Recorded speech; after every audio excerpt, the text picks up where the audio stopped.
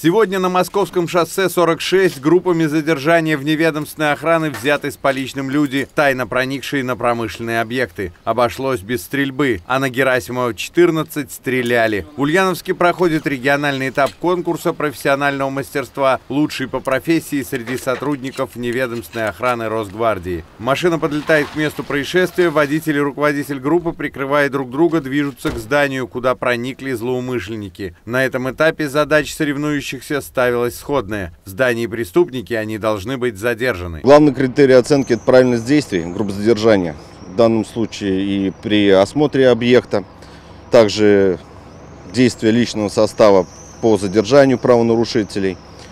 И конкурс он большой, там 15 направлений – Среди направлений практика задержания, оказание медицинской помощи, стрельба, прохождение полосы препятствий, знание нормативно-правовой базы. Лучшие в регионе отправятся на всероссийские соревнования, которые пройдут в городе Воронеж. В ротах лучших отбирали самостоятельно. В каждой роте проводился экзамены, то есть была огневая подготовка, зачеты по правовой подготовке.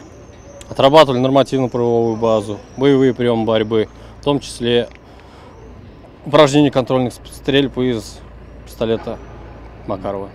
Условные преступники, стажеры Росгвардии учатся по этой же программе, поэтому задержать их нелегко, тем не менее сбежать не удалось никому. Нужно было удрать, у меня ничего не подошло, не вышло, не убежал я. Ребята молодцы, работают хорошо. Все отлично.